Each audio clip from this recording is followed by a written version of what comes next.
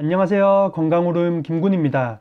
잠이 보약이라는 말이 있듯이 잘 자는 것은 피로 회복과 면역력 증강 등 우리 삶에 매우 중요한 요소입니다.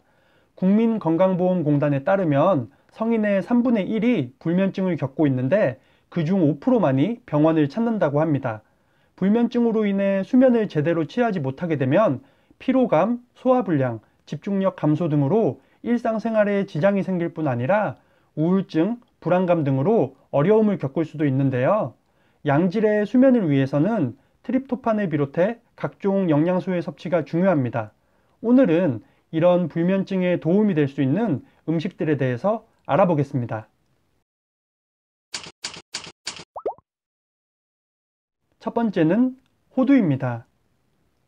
평소 호두를 즐겨 먹으면 천연 수면제라 불리우는 멜라토닌 함량이 3배 이상 증가한다고 합니다.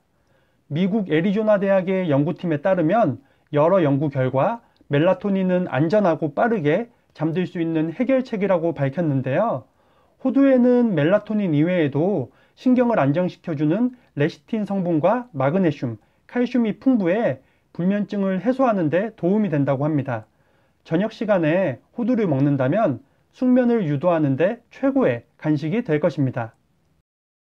두 번째는 우유입니다. 우유에는 수면을 유도하는 특성이 있는 아미노산인 트립토판이 함유되어 있습니다.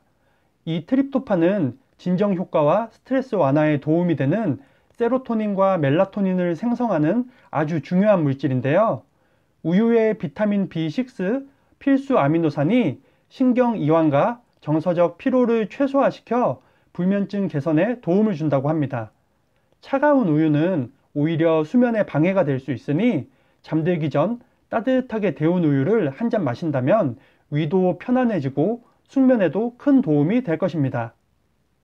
세 번째는 양파입니다.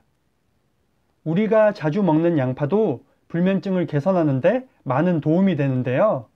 양파의 매운 향과 맛을 내는 알린 성분은 신경계 흥분을 진정시켜 불면증에 도움이 됩니다.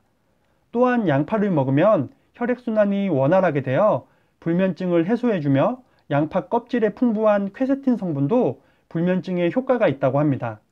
저녁 식사에 양파를 활용한 반찬을 먹거나 머리맡에 양파를 반으로 잘라서 놔둬도 효과가 있다고 하니 참고하시면 좋을 것 같습니다.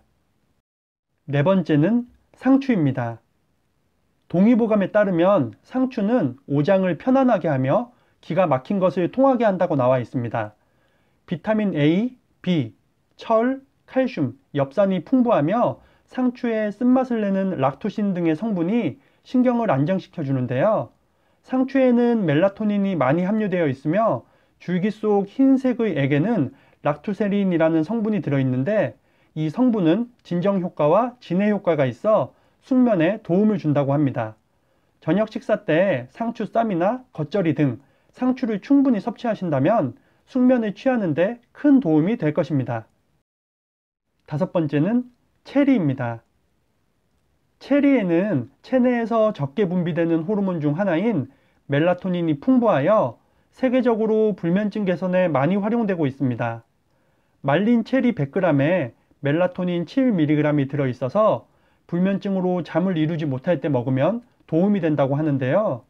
미국 루이지애나 주립대학교의 연구에 따르면 불면증에 시달리는 성인 실험 참가자들에게 2주 동안 하루 두 차례 체리를 먹게 한 결과 이전보다 84분을 더 잘 수 있었고 수면의 질도 더 좋아졌다고 합니다.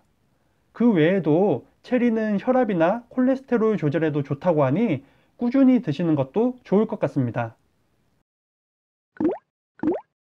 오늘은 우리 삶의 질을 떨어뜨리는 불면증에 도움이 되는 음식에 대해서 알아봤습니다. 말씀드린 음식 이외에도 삶은 계란, 바나나, 대추 등도 도움이 된다고 하니 참고하시기 바랍니다. 본인만의 노하우나 잘 자는 방법이 있다면 댓글로 공유해 주시면 많은 분들께 도움이 될 것 같습니다.